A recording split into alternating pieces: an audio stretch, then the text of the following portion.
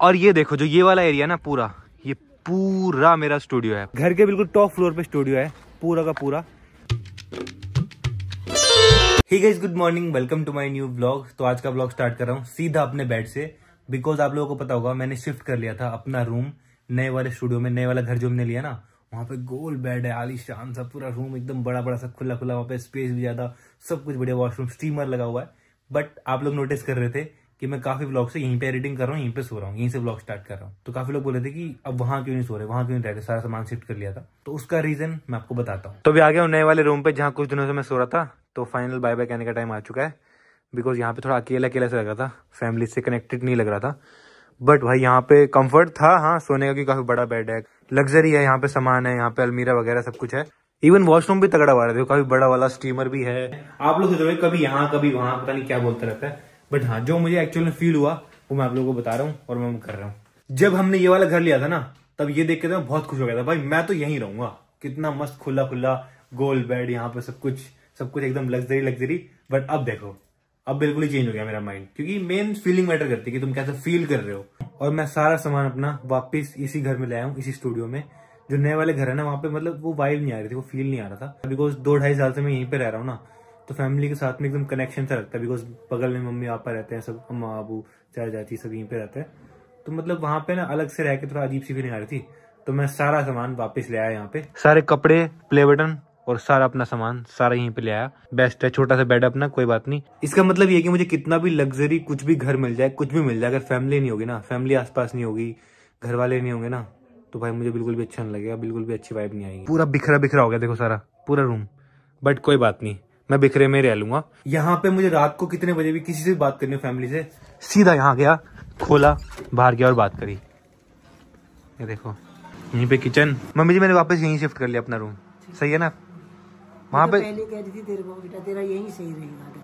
तो अभी सारा सामान मुझे वापस रखना पड़ेगा इस अलमारी में। बट इस अलमारी में देखो पीयूष के कपड़े हैं भाई। पीयूष ने अपने कपड़े रख लिए थे। तो अभी आ गया हूँ नए वाले घर पे जो हमारा बन रहा है ना। भाई ये तो और भी बड़ा है यहाँ पे तो मतलब फ्लोर ही अलग है बच्चों के अलग है पेरेंट्स के अलग है। तो पता नहीं यहाँ पे भी हम रह पाएँगे, नहीं रह पाएँगे। बिकॉज़ भाई बचपन से आते है ना। बचपन से तो भाई स्टार्टिंग में हम एक रूम में रहते थे। पूरी फैमिली सिर्फ़ एक रूम में। उसके बाद फिर दो रूम हुए, तीन रूम हुए। अभी भी तीन रूम में ही रहते हैं। जब यहाँ पे शिफ्ट होंगे, तब तो भाई यहाँ पे आठ कमरे हैं। सबका अलग अलग कमरा है, पता नहीं किस तरह से रहेंगे। आदत आदत लगानी पड़ेगी हमको। बट फिर भी ये घर इस तरह से डिज़ाइन हुआ है कि पूरी फैमिली कनेक्टेड रहे। जैसे कि अभी मैं अपने रूम में हूँ तो रूम से मैं यहाँ नीचे देख सकता हूँ किचन में भी देख सकता हूँ, सब जगह देख सकता हूँ। तो गई हम कर रहे हैं एक बहुत इंपॉर्टेंट काम। ये देखो मेरे हाथ में गन जैसी है ना। और यहाँ पे मशीन है। इसके अंदर है इमली का पानी। इससे क्या होता है ना, अगर हम पहली दीवारों पे इमली का पानी मार देंगे पलस्तर से पहले, पेंट से पहले तो जो पपड़ी होती है ना, पेंट खराब नहीं होगा हमारा। दीवार खराब नहीं होगी हमारी। तो इसके अंदर पूरा इमली का पानी भरा हुआ है। तो इमली का पानी हम पूरे घर में, पूरी दीवारों पे मार रहे हैं, ताकि बाद में दिक्कत ना हो। ये देखो, इसमें से मस्त इमली का पानी निकल रहा है। गाइज़ ये देखो, पूरे ड्रम में इमली भरी हुई है, इमली का पानी भरा हुआ है। यहाँ भी यहाँ भी यहाँ भी। तो यहाँ से छान के उस मशीन में डाल रहे हैं, फिर पूरे घर में छिड़कना है। तो अभी आ गया अपने रूम पे, और यहाँ पे देखो इलेक्ट्रिक की सारी पाइप्स लग चुकी हैं। तो इसके अंदर वायर आएगी ना, यहाँ मेरा बेड आएगा। और हम ना पूरे घर में ऑटोमेशन करा रहे हैं। ऑटोमेशन क्या होता है? जैसे मान लो मैं रात को सोया हूँ, ठीक है? अब सुबह उठा तो अपने आप पर्दे खुल जाएँगे। जैसे ही सनलाइट आएगी तो एक टाइम सेट कर दूँगा, अपने आप पर्दे खुल जाएँगे। यहाँ के पर्दे भी, यहाँ के पर्दे भी अपने आप खुल जाएँगे। अपने आप लाइट्स ऑफ़ हो जाएँगी।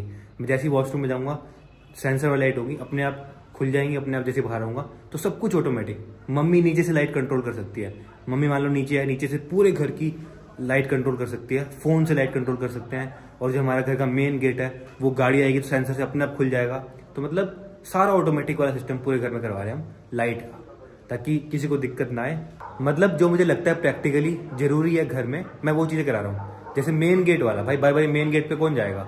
हमारी गाड़ी आएगी, अपने आप गेट खुलेगा, अपने आप बंद होगा, गाड़ी अंदर घुसेगी। या फिर मैं मान लो बाहर हूँ, मेरे को पहले अपने रूम का एसी ऑन करना है। तो एसी भी सेंट्रलाइज करा रहा हूँ, पूरा ऑटोमेटिक एसी कि भाई मैं बाहर हूँ, मुझे पहले ही बाहर से ही फ़ोन से मैं एसी ऑन कर दूँगा, अपना रूम ठंडा हो जाएगा। बाकी यहाँ भी पर्दे आएँगे, लंबे वाले पर्दे तो वो भी ऑटोमेटिक खुलेंगे ऑटोमेटिक बंद होंगे बिकॉज़ इतने बड़े पर्दे हैं, कोई हाथ से तो खोलेगा नहीं। और अब मैं आपको अपनी फेवरेट चीज़ दिखाने वाला हूँ, हमारा स्टूडियो जो कि ऊपर है।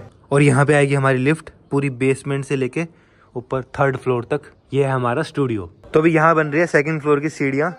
ये देखो यहाँ तक बनी है ना अभी। फिर जा पाएँगे अपने थर्ड फ्लोर पर। आप जा सकते हो वैसे नीचे से। मैं सीढ़ी से आता हूँ। आराम से आराम से। यहाँ पे लकड़ियाँ लगी हुई हैं तो मैं तो जा नहीं सकता। कुनाली जा सकता कुनाली वहाँ से निकल जाएगा। नीचे से कुनाली छोटा है ना तो मैं सीढ़ी से ऊपर जाऊँगा। आराम से कुनाली आराम से। अच्छा यहाँ पे सरिये लगे हैं। ट्राई करो। सरिया लग जाएगा आपको बस। हो गया? चलो भाई। चलो भाई कुनाली तो गया। मैं सीढ़ी से आऊँगा अब। सर पहली बार टॉप हाँ कुनाली पहली बार आया ऊपर सबसे ऊपर।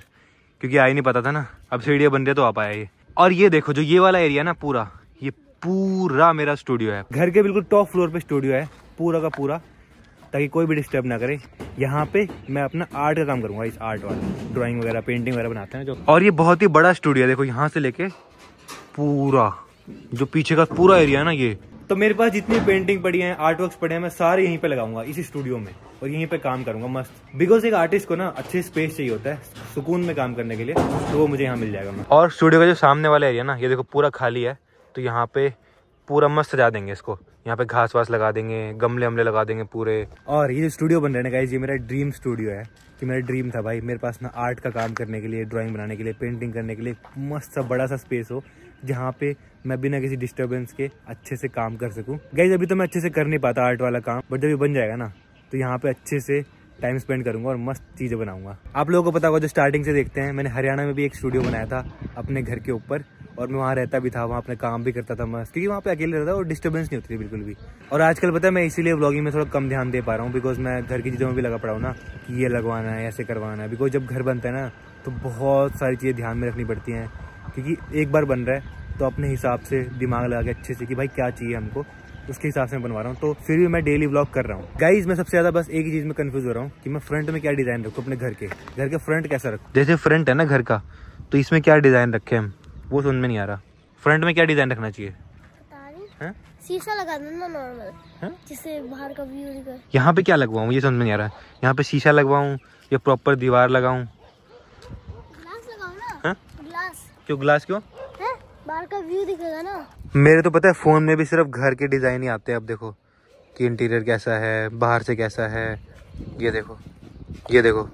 सिर्फ़ घर के डिज़ाइन आते हैं मेरे फ़ोन में क्योंकि हमारा घर बन रहा है ना भाई। भाई हमारे फ़ोन को सब पता होता है हम क्या सोच रहे हैं क्या देख रहे हैं भाई। आजकल मैं घर के बारे में सर्च कर रहा हूँ ना घर के डिज़ाइन देख रहा हूँ। तो भाई मेरे इंस्टाग्राम पे वही रील्स आ रही हैं वही फ़ोटोज़ आ रही हैं। ओलू! जूम आउट करता हूँ ये देखो कितनी दूर है।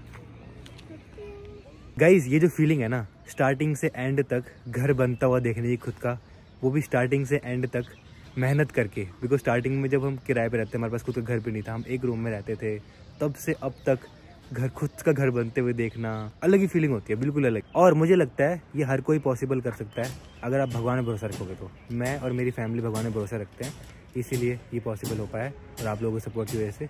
तो हाँ आप भी आप भी भगवान में भरोसा रखो डेफिनेटली आपके भी सारे सपने पूरे होंगे। गई नए स्टूडियो को देख के इतना अच्छा लगा कि मेरे को तो ड्राइंग बनाने का मन कर रहा है। काफ़ी टाइम के बाद आज ड्राइंग बनाएँगे और नई पेंसिल से। ये मैंने ली देखो इसको अनबॉक्स करते हैं। तो इस पेंसिल से बनाऊँगा मैं।